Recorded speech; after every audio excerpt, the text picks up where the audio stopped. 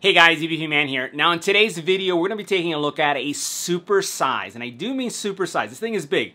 Industrial 3D printer that has a dual print head system that can be easily be converted to a single print head. And in our home, we call this the Silent Giant.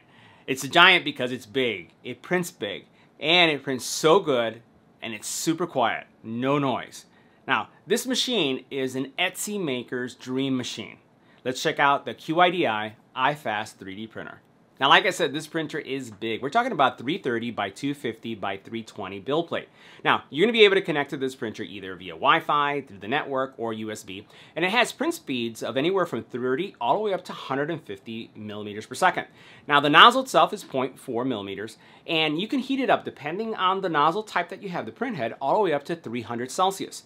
Now, that's going to give you a whole host of flexibility when it comes to print materials. You can print carbon fiber, you can print nylon, PETG, PLA, ABS, TPU, you name it.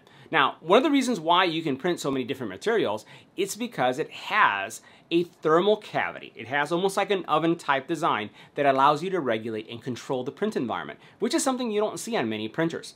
It also has a printer, uh, say filament runout sensor, which is pretty common, right? And as we mentioned, since this has a dual extruder, you can actually print two colors. Or you could actually use those uh, dissolvable filaments that you can use for supports to make some really functional prints. Now to be able to print in those high temperatures, you need a special nozzle. This printer also features a ruby nozzle that supports high temperature printing as well as those abrasive materials. And when I show you some of the samples, you're gonna be amazed on how clean they are and you know, literally no defects. Now from a print perspective, my experience on this printer has been pretty much error-free. And as you can see by the detail of these prints, the absolute detail is stunning. It is super clean, uh, really no problem whatsoever. We're really surprised. I think a lot of this quality comes from the controlled print environment. The fact that it can regulate the temperature really drives to this quality. Now the menu system for this printer is incredibly extensive and easy to use, especially with this very large touchscreen. Now the other standout feature for me is how you can control the temperature chamber. That controlled temperature chamber really will contribute to giving you fantastic prints. Because let's face it, most of the failures, and you may not know this, but most of the failures are going to take place because of not the printer itself, but the environment that it's printing. So literally, if you are in a cold room or a hot room, depending on the material that you're printing, you're gonna have to adjust either your print head temperature or the bed temperature as well to get a, something to stick. Because this is fully enclosed, and it also has a filtration system, by the way, you can actually control that environment to have a constant temperature. That's gonna give you some spectacular prints because of that control. Literally, yeah, in some of the other printers that I have that are open, um, even in our basement, what ends up happening is I have to change, depending on the temperature of the house, uh, anywhere from 5 to 10 Celsius, the temperature of either the print bed or the print head because of how cold things could get or how warm things can get. So this gives you a worry-free environment that you're always going to have consistent quality. Now, while this printer is considered industrial grade, I have to say that this is a very easy printer to use. We're talking about zero, zero changes in the actual slicer. And that's really important to me because, you know, I get a lot of printers and we also do a lot of printing um, in our home. And what I want, and I'm sure you do too, is you want a printer that you can open it up, take it out of the box, plug it in, load it with filament, and like that, start to print. That's what this printer is all about. Even though it's industrial grade, a beginner can use this, and even someone who's a pro can use this too. Now, one of the cool thing about this printer is that it not only comes with one, but two flex plates. Two of them. And I'll tell you, these things are magnetic. They lock in place. It's really hard sometimes to take them off, but the benefit of this is that you're not gonna have any kind of shifting that could be contributed because of the build plate actually moving. And I love the fact that all you have to do is twist, for the prints to pop out. Now in our home, we play a lot of D&D and we print a lot of D&D type structures. So take a look at the detail of these prints. And what I wanted to share with you is that this print has no supports whatsoever. Take a look at how crisp and clean this roof is. So what we'll do is we'll, we'll tilt it on its side so you can see that right there. Look how nice that is. All right, put it over here. Just, just great, right? And as you look at the bottom, you can see no supports. There was no supports printed with this at all. So a lot of detail, really, really clean prints. And I have to say that it probably has to do with the, the temperature control, which by the way, I wanted to mention, this printer does include a, a camera inside, right? It comes standard with it, where you can actually monitor everything that's going on in the printer. Which is absolutely, again, fantastic. Now, that is one of the, or at least the top of this structure. Over here, just wanted to show you how it works with functional structures, right? So here is a gate, and notice how functional this is. This was printed. Uh, this is, again, just using a silver silk PLA, right, or gray PLA. And you can see how nice that looks. You can see how the precision over here at the top, and you can see how well things are cut out. And you can see that right there, right? Very, very nice. Uh, the other print that we have right here is this, uh, this structure right here. So this is the bottom portion of it. Once again, you will see that there is um, some support material on this one, just um, on some of the areas that, that stuck here. Um, like you can see that right here. I wanted to show you uh, something that was there. Uh, but you'll notice at the inside, look at how much detail you have in there. There was no support material in the arches, and any of the arches that you see here or in the doorway. Um, just on, on some of the areas, like right here is where I saw some. But all in all, when you look at this, this is a great printer. As we mentioned, we did test a lot of different materials, and this is carbon fiber. I wanted to just show you a carbon fiber print. So this is a carbon fiber print. This is actually a coin holder that we, uh, that we printed for our car. And as you take a look at this, we'll just go ahead and rotate a little bit so you can see the overall quality, and then we'll put it right here so you can see the sides. Very, very nicely printed.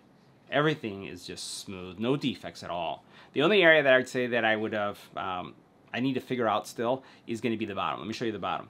The actual, so this is the bottom. We did have a raft uh, for the first layer, and uh, I just couldn't take it off, right? So uh, when I took it off the build plate, it was a little hard to take off, but then after I took it off, then even removing this layer, I have to look at what my settings were, right? But this is uh, one of my I would say maybe my second successful carbon fiber print, but this is what that ruby had. Now the last one I'm going to show you here is um, also on the printer. And you'll notice that behind me I have um, the same mask, but uh, it is actually in black. That is an ABS version, right? So that's ABS, and this is PETG. Uh, let's take a look at the actual quality. Now, the way this was printed, uh, this was printed just as you see it right here right? So it did have some supports on the bottom supporting the actual, um, I would say, mask itself. But you can look at the actual detail. Fantastic detail. Uh, there's some light defects in this area right here, not a lot. Very, very light sanding. If you want to go ahead and use, let's say, like a resin uh, pour on this to just get it super smooth, you can do that as well. You'll notice that on the side here, I have maybe some slight supports that were here. But look at how clean this is all the way around, right? Very little work and, and that's frankly that's what I look for in a printer. I look for a printer that's going to leave me prints as perfect as possible so I can reduce the amount of work that I have to do. Now one area that I would say that I noticed that there was something going on is right here. So notice I did have a layer line here but it doesn't look like it was a layer shift but something went on right here but I don't really see it. It didn't really continue. It's not pervasive so you can see how clean that is all the way around. So really really like the quality it's a great printer. Now guys, this is what the iFast printer looks like up front and close. Again, like we said, this is a large printer, but it is very quiet. Right now, it's actually running a print. Um, you can see kind of like the print details here in the upper corner. Uh, it's a uh, Batman, I believe it's the Arkham model that is printing right now. It's been going on for a little bit over a day now um, at a higher quality. Uh, you'll notice that you have right here the USB mounting system. So this is where you would load your print. Uh, this is the drawer, and this is that heat cavity that I had mentioned that basically keeps uh, the temperature inside of your print area regulated. So you basically have consistent temperature throughout. And you could actually see that uh, here in this area as it's showing you what that is. So literally when you open this up, uh, there is, you feel a difference in temperature. So in my house, uh, the temperature of the house is around 69 degrees. We like keeping it cold. And this is great because I don't run into a lot of print failures because of the temperature. Now as I open this up, it may get a little bit louder, so I'm just going to stay quiet so that you can hear the ambient noise.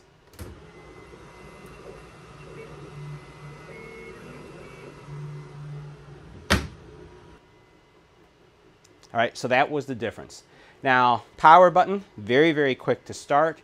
And the menu system, as you can see here, I like the very large display that it shows you, again, a depiction of what you're printing. Uh, and then it gives you all these statuses. It's going to tell you your temperature of your bed, the temperature of your print nozzle. If you had two print heads uh, that are active, you would see that here as well. The actual, again, print area and the temperature, the time elapsed, time remaining, and then um, how fast it's printing. Right now it's printing at anywhere from 100 to 150 millimeters per second, depending on if it's printing supports or not. So it's going uh, pretty fast, right? And then also then you have the file name itself. Now at any time you can come in this area and you can make adjustments and there are several adjustments that you can do. You can change the heating bed, the nozzle temperature.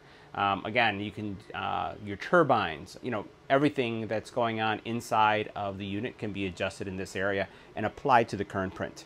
Now what I like about this printer is that while it's enclosed, it does give you a clear view of what's taking place inside of the printer. So you can see the actual print head moving left to right. and You can see how it's printing. You also see the filament coming in. One of the things I was surprised is that there's no Bowden tube. So there's no Bowden tube required to take the filament from the filament spool that goes into the filament sensor that you can see there, and then it uh, loads it all the way up to uh, the print head. So everything here is, uh, you know, contained in this area, and there's no Bowden tube that's required. Now you notice that the the, the actual spool holders are one of the best spool holders that I've seen on any printer. Let me just show it to you right here for a second. So what I like about it is that you can easily remove your spool by just removing this, taking this out, and then your spool will come out. But there's really no drag, right? So we've seen um, other, I would say, uh, filament holders that there's some type of friction or resistance that gets created. While this doesn't have any sort of bearings at all, it's a smooth metal material that really works well with the filament itself. Now placing your filament spool is pretty simple. All you have to do is place it just like this on the, on the printer and then you're set to go if you have the two print heads going. Currently we're printing with a single print head and we're actually using the Ruby nozzle print head. And this is where we're printing um, ABS materials, carbon fiber materials, all those abrasive materials, uh, you would use that print head and, and, that's what I have mounted now. But for those of you who are curious on what the actual print heads look like, uh, the dual print head, I just wanted to show you, um, this is kind of like uncovered. Um, it's a little dirty because we've been doing a lot of printing on it, but this is what the dual print system would look like, right? And then you can see uh, where the filament actually comes in. So this was um, on the system. We tested a lot of prints uh, on this guy here and then we switched over. So let me show you some of the other prints that we got. Now throughout the video you've seen in the B-roll uh, this guy right here. Uh, this is a super clean print. I just want you to take a look at how clean this print is right here. I'll just rotate it. You know, we have a seam there, but seams are hard to avoid. But as I rotate this, you can see uh, the overall quality. This is a really, really a nice print. Um, if we look at that first layer, uh, we did have, um, this was an actual drop of mine, so it's not a, not a problem with the actual printer itself, but you can see what this overall quality looks like. Really, really sharp print. Now, one of the areas that I was completely floored with this printer uh, was in our D&D collection. So you guys all know that we are a D&D home. We've been uh, posting that. And I wanted to share with you just the overall beauty of some of these prints. So take a look at the detail here. Now, the thing to highlight with this print that came out of this printer, and you can see how the inside looks so, so great, is that this was printed without any supports. Literally, no support. So you see this coming up right here. All this was printed uh, just standard, right? And this was two millimeter height, and look how clean that looks. Absolutely fantastic. So we have our entire uh, village uh, and a lot of different items that we've printed. We've printed mugs, uh, everything that we need to in order to have a very immersive D&D uh, experience. But look, look at the quality of that. That just looks spectacular. Now the other print I wanted to share with you is a multicolor print using two uh, the two colors in the filament. I have some D&D uh, objects inside of it so you can hear some rattling. But here as you can see is the multicolored. Now we have some artifacts here, some defects that we need to clean up. Um, obviously some tuning. I find that the color while it works well as you can see here it's not as point and click as I would like. So while everything else is absolutely stupendous on this printer, you know, just hit and go, you know, put the filament and then just print. This one requires a little bit more mastery to it, but just wanted to show you what it looks like. So guys, that wraps up our review of the QIDI 3D printer. Fantastic printer, not just for the professional, but if you're a hobbyist and would just like a high quality printer that's gonna render prints like this, you gotta check it out. See you in the next one.